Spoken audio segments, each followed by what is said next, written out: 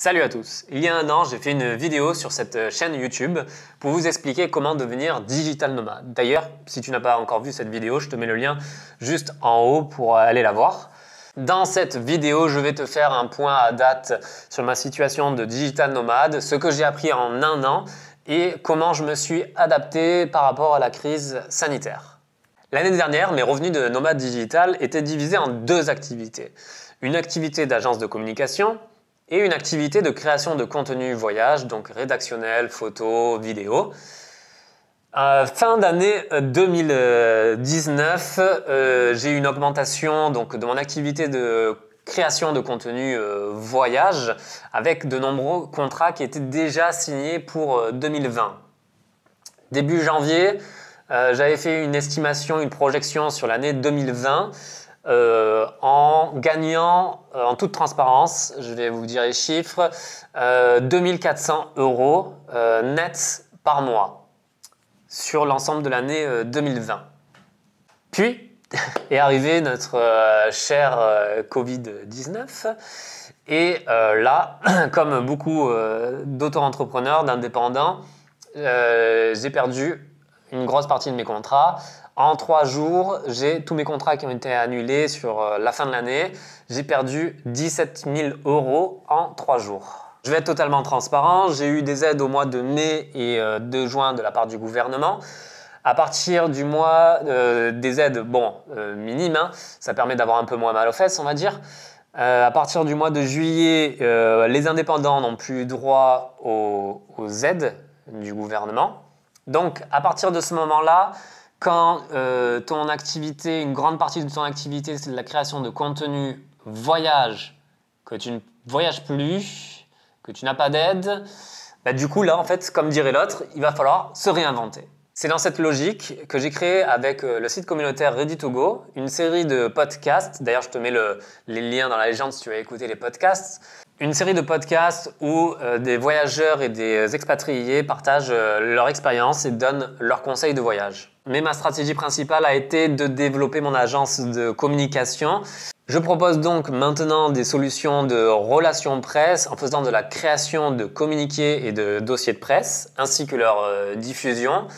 Dans ce domaine, je pense que l'astuce est de se positionner sur un secteur niche pour développer vraiment de bonnes relations avec certains euh, contacts presse médias, plutôt que de vouloir être sur... Euh, on va dire, des médias de masse au lieu de vouloir euh, contacter un maximum de personnes en faisant un mailing. Comme ça, il y a moins de résultats. Et quand on démarche après euh, les clients, euh, on présente généralement nos résultats et quand bah, les résultats sont présents par rapport au travail qu'on a fait, petit à petit, ben, on arrive à avoir de nouveaux clients.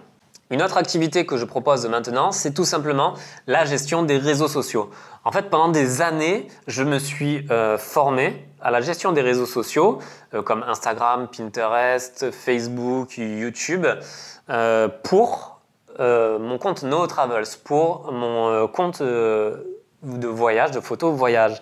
Et en fait, j'ai tout simplement décliné ça sur mes clients dans mon agence de communication. Donc maintenant, ce que je fais, c'est que je propose euh, un service de euh, gestion des réseaux sociaux, donc de community management, à mes clients dans l'agence de communication.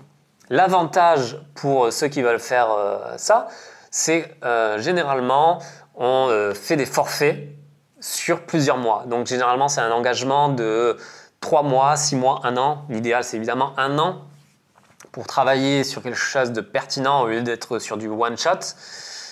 Et euh, ça permet aussi bah, du coup de se garantir chaque mois bah, un, fauteuil, un matelas de, revenus. Voilà, donc tout au long de, de l'année. Et la dernière activité que j'ai lancée au mois de septembre, sur laquelle je me suis reformé cet été, c'est la création de visuels publicitaires. J'utilise notamment des logiciels comme Photoshop tout simplement, mais j'ai dû me faire une mise à jour un peu sur Photoshop pour maîtriser deux trois techniques. Voilà, et du coup maintenant je propose euh, ça à mes, euh, à mes clients, donc la création de visuels publicitaires pour des euh, bannières en ligne, pour des flyers, voilà différentes solutions de création de visuels. Pour compléter l'explication de l'évolution de mon activité, Euh, je rajouterai que euh, depuis le confinement, j'ai euh, travaillé à l'écriture d'un roman que j'avais déjà commencé en 2017 et que j'ai repris.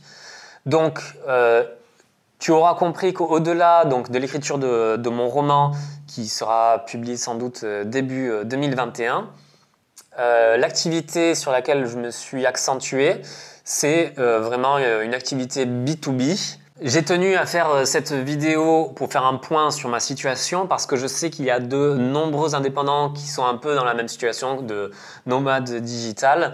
Euh, on a tous vécu un peu euh, les montagnes russes pendant cette année 2020 et c'est sans doute pas fini. Donc je tenais à faire cette vidéo. D'ailleurs, si toi aussi ta situation a évolué au cours de cette année, n'hésite pas à laisser en commentaire ou à m'envoyer un message pour en discuter directement. C'est bien euh, de pouvoir échanger entre indépendants et d'avoir des retours d'expérience concrètes à l'inverse des euh, vidéos YouTube que des fois qu'on peut voir euh, de gars qui te dit qu'il gagne un million par mois ou un truc comme ça. Voilà, au moins des vidéos euh, concrètes et de l'interaction entre véritables indépendants, ça peut toujours aider. Avant de finir cette vidéo, je t'invite à t'abonner à ma chaîne euh, YouTube parce que j'ai travaillé sur plusieurs euh, reportages de voyages que je n'avais pas eu le temps de monter auparavant, mais la situation là m'a permis de les monter. Donc si tu aimes les voyages, je t'invite à t'abonner à ma chaîne YouTube parce que les vidéos seront publiées prochainement. Et je te dis à la prochaine. Ciao